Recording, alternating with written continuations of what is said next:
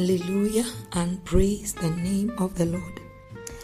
I am delighted this morning once again as I share about salvation. We started on Monday and we say that salvation is meant for all, but it takes a person who will accept the gift of salvation and receive the gift of eternal life. And we said on Tuesday that salvation can only come through Jesus Christ. We said that Jesus is the source of salvation. And yesterday we said that now is the time of salvation. We said now is the appointed time of favor, and now is the day of salvation. And I want us to continue learning about salvation. And today we are going to look at the Word of God from the book of Romans 10, Romans 10, verse 9. And this is what the Word of God says. I will start from verse 8. But what does it say? The Word is near you, it is in your mouth and in your heart. That is the Word of faith we are proclaiming. It says in verse 9 that if you confess with your mouth Jesus is Lord and believe in your heart that God raised him from the dead, you will be saved. It says, I will repeat from verse 9 that if you confess with your mouth Jesus is Lord and believe in your heart that God raised him from the dead, you will be saved. We say that Jesus is the way of salvation, Jesus is the source of salvation. And now we are at how do we receive the gift of salvation? The uh, Paul is saying, and is writing in the book, of, uh, uh, is writing to the church of Romans, and he's saying that if you confess with your mouth Jesus is Lord and believe in your heart that God raised him from the dead, you will be saved. So it is one thing to believe in your heart, and it is another thing to confess with your mouth so that you may receive the gift of salvation that has been released to all.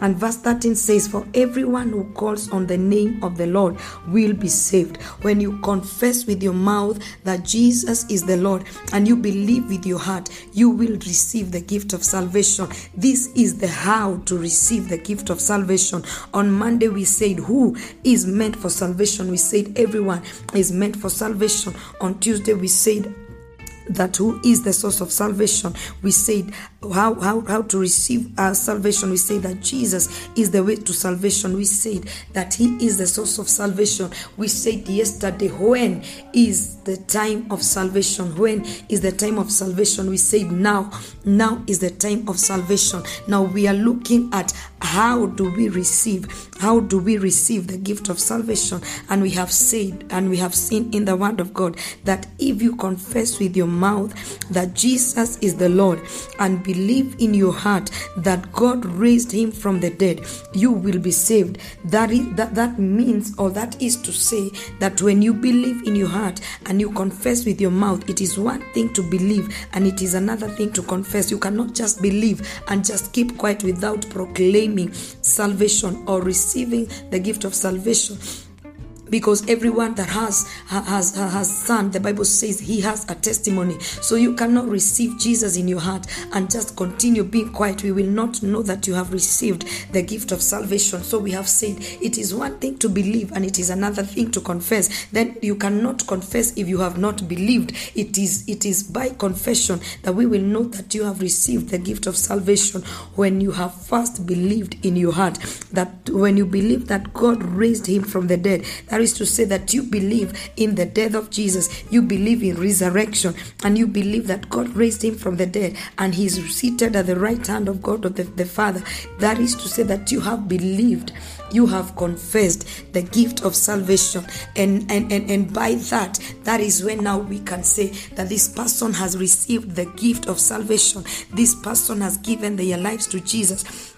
And so I am just emphasizing that this is how to receive the gift of salvation. This is how to receive the gift of salvation. It is confession of our mouth that Jesus is the Lord. It is believing in our hearts that God raised him from the dead that we will be saved. So we cannot receive the free gift of salvation without confessing with our mouth and without believing in our hearts. And now it says in that in verse 30 that everyone who calls on the name of the Lord will be saved. Everyone, everyone. That points us to the first scripture that we looked at in the book of First Timothy, uh, uh, chapter two.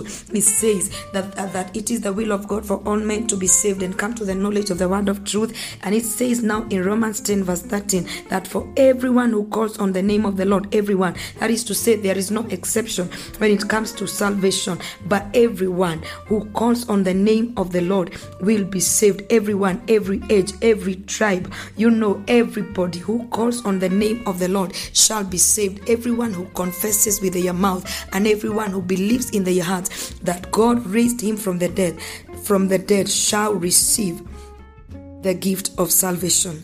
I believe that you're getting blessed by these daily insights. And on behalf of Pastor Lucy Paynter, my name is Anita Flo. I believe that we are learning a lot about salvation, about the forgiven, uh, forgiveness of sin, and about receiving the free gift of salvation that is meant for everyone. So every time you meet a person and you're telling them about Jesus, and some people will tell you that salvation is not meant for them, kindly, kindly remind them that salvation is meant for everyone, for it is the will of God for all men to be saved and come to the knowledge of the word of truth. And everyone who calls on the name of the Lord will be saved. We will continue tomorrow as we, we, we look at salvation in another dimension and we will continue to learn about how and, and, and, and who is meant for salvation.